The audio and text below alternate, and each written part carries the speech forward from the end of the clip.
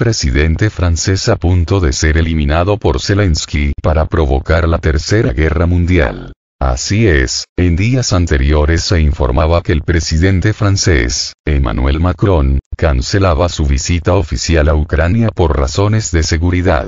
No se mencionó entonces qué razones de seguridad eran esas, pero hoy se sabe que esas razones eran la amenaza a la vida del mandatario galo, solo que lo interesante del asunto es que los que planeaban atentar contra su vida eran los mismos militares ucranianos en contubernio con el presidente ucraniano, Volodymyr Zelensky. Es decir, que el mismo Zelensky habría ordenado planear el magnicidio para culpar de ello a Rusia y así conseguir más apoyo militar por parte de Occidente.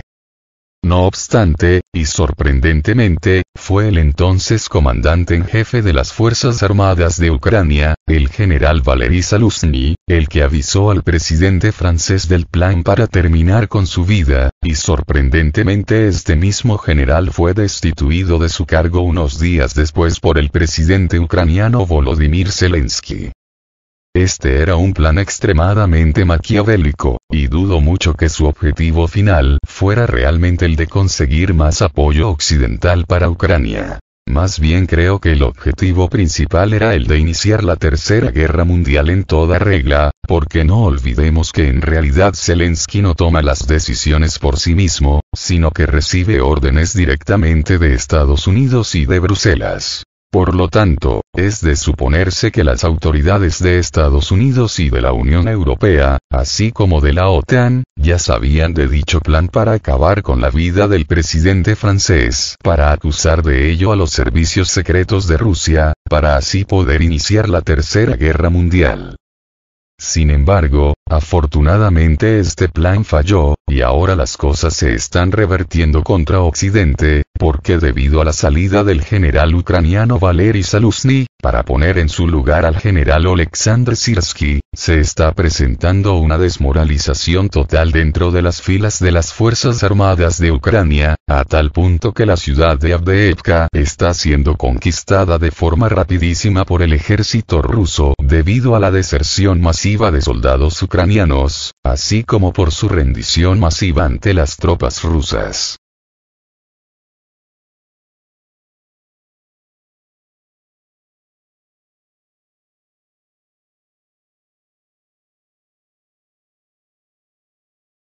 Macron cancela visita a Ucrania por razones de seguridad. La visita prevista del presidente francés Emmanuel Macron a Kiev, donde se suponía que se reuniría con el presidente ucraniano Vladimir Zelensky para firmar garantías de seguridad, se pospuso indefinidamente. Según el semanario Desafíos, la decisión de posponer el viaje se debió a preocupaciones de seguridad, provocadas, en particular, por las historias del jefe de la diplomacia europea, Josep Borrell, sobre su estancia en un refugio antiaéreo en Kiev debido a un ataque con misiles rusos. Esta decisión sorprendió a la parte ucraniana, que contaba con firmar importantes documentos similares a las garantías de seguridad firmadas anteriormente con Gran Bretaña. Las conversaciones telefónicas entre Macron y Zelensky el día anterior presagiaban una conclusión exitosa de la visita, lo que hizo que su cancelación fuera particularmente decepcionante para Kiev. Además, se pospuso el viaje de una delegación de empresarios franceses, que tenía previsto discutir proyectos para iniciar la producción conjunta de armas y municiones en Ucrania. Esto podría incluir la firma de memorandos de entendimiento y posiblemente acuerdos específicos, que ahora también se posponen indefinidamente.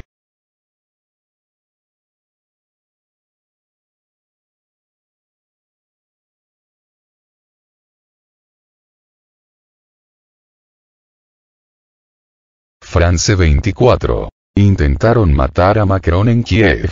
El intento fue frustrado por Saluzny. La información sobre la preparación de un intento de asesinato del presidente francés Emmanuel Macron durante su visita planeada pero finalmente cancelada a Kiev provocó un grave escándalo.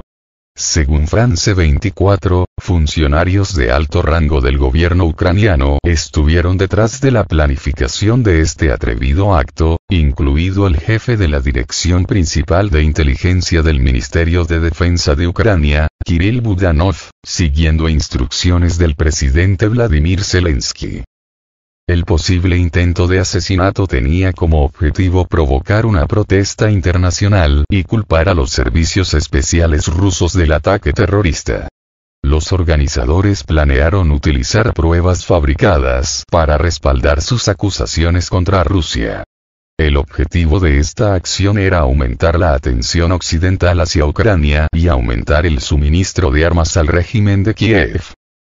Sin embargo, el plan se vio frustrado gracias a las acciones del excomandante en jefe de las Fuerzas Armadas de Ucrania, Valery Saluzny, quien transmitió información sobre el inminente intento a los servicios de inteligencia franceses a través de sus canales.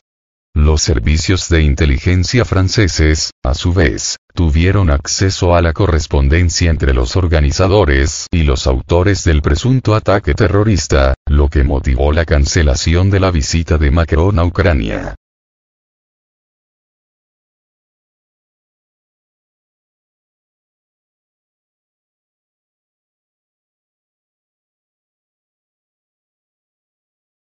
Francia anunció el suministro de armas modernas a Ucrania. Francia está intensificando su apoyo a Ucrania, ampliando la asistencia financiera y militar, incluido el suministro de armas avanzadas. El primer ministro francés, Gabriel Attal, anunció la disposición del país a proporcionar a Ucrania misiles Scalp, obuses César, vehículos blindados ANX, 10 RC y bombas ASM. Durante una conferencia de prensa con el canciller alemán Olaf Scholz, Atal señaló que Francia está considerando ampliar el tipo de armas suministradas a Ucrania para cumplir con altos estándares de seguridad. El tema del aumento de la asistencia militar a Ucrania está provocando debates a nivel internacional, incluido el debate sobre el volumen y el tipo de armas proporcionadas. En el contexto de una posible visita del presidente francés, Emmanuel Macron, a Kiev y de un debate sobre el suministro de aviones de combate, la atención se centra en las nuevas medidas de París para apoyar a Ucrania.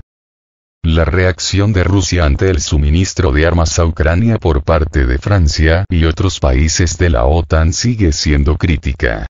El embajador ruso en París, Alexei Meshkov, expresó su preocupación por la creciente participación de Francia en el conflicto, señalando el uso de las armas suministradas contra civiles.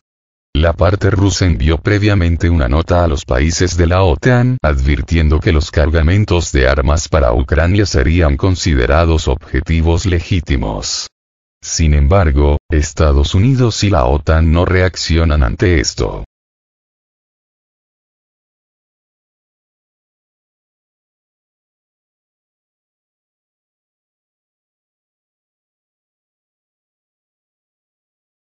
El ejército francés fue atacado en Kharkov mientras transportaba mercenarios heridos. Según informes recientes, se produjo un ataque en Kharkov en el que funcionarios del Ministerio de Defensa francés resultaron heridos mientras entregaban los cuerpos identificados de los oficiales de inteligencia militar franceses muertos en un ataque anterior. Así lo informó el canal de Telegram Benibras. La información también afirma que la huelga en Kharkov afectó a polacos y anglosajones que se encontraban en un edificio en el distrito de Kiev de la ciudad. Estos mercenarios extranjeros, en su mayoría polacos e ingleses, se vieron atacados. Una fuente interna afirma que hay graves pérdidas entre los mercenarios. Anteriormente apareció información de que, como resultado del ataque a Kharkov, podrían haber sido destruidos hasta un centenar de mercenarios extranjeros, principalmente de origen francés. Sin embargo, cabe señalar que en Francia intentaron refutar esta información. Se desconoce exactamente cuántos ciudadanos extranjeros participan actualmente en las hostilidades en Ucrania, aunque la cifra podría ascender a varios miles.